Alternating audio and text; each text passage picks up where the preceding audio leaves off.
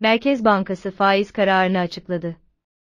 TCMB, Para Politikası Kurulu, kurul, politika faizi olan bir hafta vadeli repo ihale faiz oranının %19'dan %18'e indirilmesine karar vermiştir. Anlık gelişmeler için lütfen abone olun.